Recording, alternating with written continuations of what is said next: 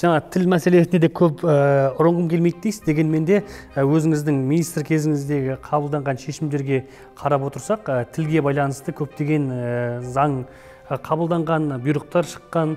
Енді сізді осы көбінесе көтермелеген кезде мұғалімдер ата аналар әліппені қайтарушы қазақтың бір реформатор азамат ретінде қарайды ғой көп азаматтар. Бұдан басқа тағы бір сіздің шешіміңіз балабақшадан орыс тілін алып тастағаныңыз бар. Бірінші сыныптан да алып тастағаныңыз. Одан кейін ұбт дағы орыс тіліне қатысты квотаны алып тастауыңыз иә Ә, орыс тілінің бөлініп оқытылатыны оны біріктіріп қазақ тілімен оқытылатыны. Ә, жоғары оқу орнына қатысты да осындай шешімдер. Орыс әдебиетін алып тастау туралы шешімдер. Ә, мұның барлығы қазақ тіліне басымдық беруге қатысты қабылданған шешімдер иә біреулер мұны аймағамбетов қазақ ата аналардың алдында ұпай жинау әрекеттері деп қабылдады. Әлде ә, дұрыс түсінбеді ме? Осыған қатысты енді сіз прагматик азамат ретінде бұның барлығын саналы түрде қабылданған шешімдеріңіз бе? Әлде бір ұлтжандылық ұстанымыңыз ба бұл жерде мен әрқашанда айтамын саяси қызметте шешім қабылдағанда сенің өзінің ішіндегі көзқарасың емес зерттеулерге негізделген шешімдер болу керек. Егер зерттеу болса егер нақты статистика болса ғылыми тұрғыда біз салқынқанды прагматикалық тұрғыда шешім қабылдауымыз керек. Мысалы жаңа сіз айтып отырсыз ә, біз ұлттық бірыңғай тестілеуде квотаны алып тастадық деп. Иә ол квота болды. отыз пайызы міндетті түрде орыс тілді мектепті бітіргендерге орыс тілінде тапсыратындарға жетпіс пайызы қазақ тілінде тапсыратындарға. Бірақ біз оны қарадық. Ол бізге әлеуметтік мынау ә, әділетсіздікке алып келді. Өйткені бізде ә, қаншама азаматтар болды. Мысалы жүз балл алған бірақ сол квотаның кесірінен ол оқуға түсе алмаған. Жаңа бір тіл бойынша. Басқалары дәл сол бағыт бойынша елу балл алған мысалы иә. Бірақ олар өтіп кетті. Сонда бізге жаңағы жақсы маманды дайындау үшін физикті дайындау үшін оның сол жаңағы елу балл алған ә, грант ұтып алғаны керек па әлде жүз балл алғаны грант ұтып алғаны керек па? Сондықтан бізде мектептің бағдарламасы бірдей. Екеуіне ұбт да қойылатын сұрақтардың мазмұны бірдей берілетін есептері бірдей. Неге онда біз квота қоюымыз керек? Сондықтан біз бұл шешімді ә, қабылдадық жаңағы статистикаға зерттеу өткіздік. Сол зерттеудің нәтижесінде біз айттық.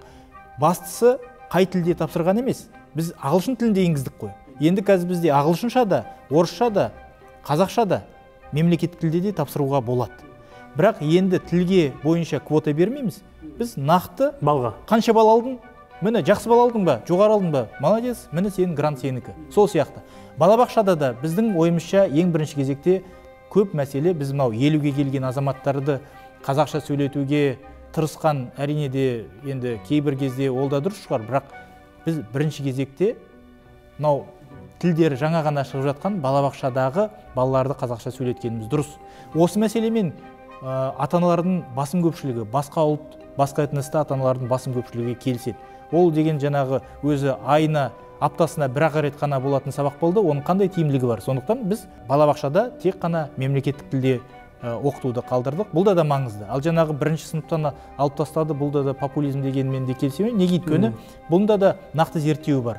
Алты жаста мектепке келген баланы бірінші сыныпта үш ә, жаңағындай әліпбиде әртүрлі әліпбидегі үш әліппесін оқу деген өте қиын. Ол мына жақтан қазақ тілін оқиды мына жақтан орыс тілін оқиды мына жақтан ағылшын тілін оқиды. Ол қиын. Сондықтан біз не істедік? Біз ағылшын тілін тіпті үшінші сыныпқа сырып тастадық. Ешкім айтып жатқан жоқ қой ағылшын тіліне дискриминация жасады деп.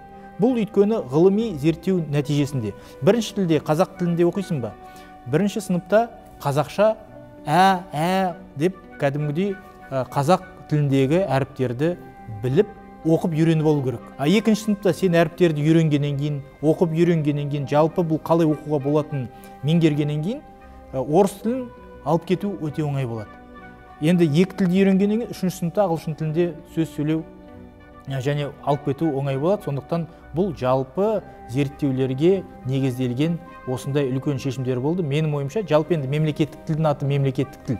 Осы жақында ғана мемлекет басшысы мысалы қазақ тілді қоғамына арнайы осы мемлекет тілді дамыту үшін өз жеке қаражатынан 7 миллион теңгені беріп нақты осындай дегенмен орыс тілін дамытуға да қаржы бөлініп жатыр ғой. Менің ойымша біз қазақстанда әрине басымдылық бірінші кезекте қазақ тіліне болу керек. Ол енді мемлекеттік тіл. Ол мемлекеттік тіл сонымен барлығы айтылады. Бірақ ағылшын тілін неге біз білмеуіміз керек? Неге басқа тілдерді де біз білмеуіміз керек? Деген сұрақ бар ғой. Сондықтан қазақтар көп тілді білгені өте маңызды. Бірақ әрине бірінші кезекте қазақ тілін білу. Дегенмен де осы астана қаласында басқа қалаларда осы қыркүйектегі статистика біраз азамат таң қалдырды иә ал халайық айтылған тұжырымдарға қалай қарайсыздар? Өтірік оппозиция болсын жаман атты аманат болсын жоғарыдағылар халықтың үніне құлағын серек асады. Ал бізге халықтың қалай ойлайтыны болашақты қандай етіп көргісі келетіні маңызды. Себебі өзіміз де қара халықтан шыққанбыз қара халыққа тиесіліміз. Өзіміз болмасақ жалғыз қалармыз. Сондықтан өз ойыңызбен бөлісіңіз шындыққа ат салсайық. Қазағым ау бұл ақпарат дұрыс па өзі? Пікірталасты көзқарас екенін түсінеміз. Кейбіреуі келісіп кейбіреуі келіспеуі де мүмкін. Алайда шындықты ылғи ортасында табу мүмкін деген еді шығыс философтары. Ал біздің ойымызша шындықты ой көкірегі ояу халық қана қалыптастырады. Себебі халық бәрін біледі. Бірақ нұрбот тоқаевтың құлы болмауы керек. Егер сіз еркін ойлайтын адам болсаңыз комментарийге жазып кетіңіз. Мәссаған не айтарымды да білмей қалдым ғой. Өз ұстанымымды әлі толық шешпедім. Бір жағынан бұл адамның айтқаны да шын сияқты. Бірақ біздің өмірді ол көрді ма десеңші? Қара халықтың зарығуын түсіне екен? Білімі зор болса да өмірлік тәжірибе басқа ғой. Ол түсінбесе біздің көрермендеріміз әлбетте түсінеді ғой. Достар аға мен апалар сіз өз ойыңызды ақыл айтқандай жазып жіберсеңіздерші. Біз жастар көпті көрген үлкендердің ойын тыңдайық. Комментарийге жазыңыз. Пақ шіркін әдемі айтты ма әлде әдемі сөздің астары ондай керемет емес пе біз бұл кісінің не айтқысы келгенін түсінген сияқтымыз бірақ сіздердің де не ойлағаныңыз қызық билікті жамандауға барлық адамның шамасы келеді ал бір өзгеріс ұсынуды көбісі ұмытады қазағым ондай болса ұсыныстарыңызды сіздер жазып жіберіңіздерші мәселені шешу үшін немесе жалпы тақырып бойынша айтатыныңыз бар болса ұялмай пікіріңізді жазыңыз. Астананың өзінде қырық пайыз ата ана баласын аралас орыс сыныптарына бірінші сыныпқа алып барғаны сияқты қостанай облысында оның жетпіс пайыз екендігі. Сонда мемлекеттік тіл саясатының жемісі жоқ деген сөз ғой. Жоқ олай емес. Бізде енді біз тек қана бір жылды қарамауымыз керек. Жоқ енді биыл мен фактілермен біз қаңғалатын факт соның биыл күрт көбейіп кеткендігі. біз цифрлармен ойнамауымыз керек. Енді әрине осы шу болды ғой есіңізде мен әріптестерімді қазір сынағым келмейді. Егер ұзақ мерзімдегі динамиканы қарасақ қазақ тілінде оқып жатқандардың саны артып келе жатыр ол бір. Екіншіден қазақ тілінде сапалы білім алып жатқандардың саны өзгер көбейіп жатыр ол екі. Үшіншіден қазақ тілінде оқып жатқандардың дүниежүзілік деңгейдегі олимпиаданы жеңіп жатқандарынан ешкім жоқ деп айта алмайды. Олар қазір жеңіп жатыр басым көпшілік қазақ тілінде оқып жатыр грант бойынша да орташа балын алсаңдар да қазақ тілінде. Кеше ғана пизаның нәтижесі шықты. Қарасаңыздар қазақ тілінде білім алғандардың сапасы да өте жақсы өсіп жатыр. Сондықтан менің ойымша бұл жерде бір мәселе бар. Біз бұны қазір тиісті түзетуді заңнамаға енгізіп жатырмыз қандай мәселе? Мысалы көп азаматтар мен баламды мемлекеттік тілде оқысын деп бірінші сыныпқа береді. Иә. Береді. Бірақ ол келеді да қазақша тілі шыққан баламен бірге ә, үйінде орысша сөйлесіп жүрген әлде ағылшынша сөйлесіп жүрген бала екеуі келеді бір партаға отырады. Бір партаға отырады. Әрине ол қазақ тілінде мемлекеттік тілде оқығаннан кейін ол да математика да мемлекеттік тілде ә, дүниетануда да мемлекеттік тілде. Ә, барлық пәндер мемлекеттік тілде сосын ол не істейді? Ол жай жайдан қала бастайды. Сосын мен танимын ондай адамдарды. Олар айтады так менің балам мынау екінші сыныпқа көшті. Мынау тарта алмай бара жатыр. Біздің жақсы ниетіміз болушы еді. Мынау мемлекеттің тілі мемлекеттің тілін түсінсін деп беріп едік. Тарта алмай бара жатыр дейді да ол келеді да басқа тілдегі сыныпқа көшіріп жатқан кейстерді бізде аз емес өкінішке орай. Олар тек қана өз баласын ғана көшіріп қоймайды жанындағы бүкіл адамдарға айтады сосын. Е балаңды бермей ақ қойыңдар ертең ол қиналады одан дағы өзі қай тілде сөйлейді сол тілде бере беріңдер деп міне осындай тренд бар. Оны жасыра алмаймыз. Сондықтан бұны өзгерту үшін біз заң жобасына міндеттейтін арнайы тетік енгіздік бұл дегеніміз осы бірінші сыныпта ниет етіп бірақ қазақ тілінде оқимын мемлекеттік тілде оқимын деп ниет етіп барған балаларға арнайы адаптациялық бағдарламаны енгізу. Эстония сияқты басқа да мемлекеттерде дәл осындай тәжірибе бар. Мен енді басқа қызметте істегенде бұл жұмысты бастап қойғам. Енді уақыттың тығыздығына байланысты бұны соңына дейін жеткізуге мүмкіндік болмады. Бірақ осы тиісті зерттеуді өткізіп осы проблемаға көзіміз жетіп осы жұмысты бастап кеткенбіз. Енді менің ойымша осы жұмысты біз аяғына жеткізуіміз. Біз тек қана сендер бермейсіңдер сендер сыйламайсыңдар сендер немқұрайлы қарайсыңдар деп біз үйтіп айта бергеннен ештеңе шықпайды. Бізге не керек? Біз ынталандыру тетіктерін қарауымыз керек. Біз оларға тиісті жағдай жасауға көмектесуіміз керек. Жаңағы айтып отырмын ғой жаңағы фактілер бар ма бар. Ол бала қинала ма? Қиналады не істеу керек? Көмектесейік. Оған қосымша қазақ тілін берейік. Оған қосымша сабақтар берейік. Оған қосымша қол ұшын тартайық. Міне осы мәселені шешу үшін біз қазір тиісті түзетуді енгізіп оны үкіметке жібердік. Жақын арада үкіметтің қорытындысы келсе бұл заңды біз мәжілістің қабырғасында талқылайтын боламыз ағарту министрлігі қолдайды ғой. Ағарту министрлігімен жалпы енді біз бір бағыттамыз ғой. Барлығымыз мүддеміз бір. Мхм. Түсінікті. Жаңа пизаны айтып қалдыңыз. Ал қалайық? Айтылған тұжырымдарға қалай қарайсыздар? Өтірік оппозиция болсын жаман атты аманат болсын жоғарыдағылар халықтың үніне құлағын серек асады. Ал бізге халықтың қалай ойлайтыны болашақты қандай етіп көргісі келетіні маңызды. Себебі өзіміз де қара халықтан шыққанбыз қара халыққа тиесіліміз. Өзіміз болмасақ жалғыз қалармыз. Сондықтан өз ойыңызбен бөлісіңіз шындыққа ат салсайық. Қазағым ау бұл ақпарат дұрыс па өзі? Пікірталасты көзқарас екенін түсінеміз. Кейбіреуі келісіп кейбіреуі келіспеуі де мүмкін.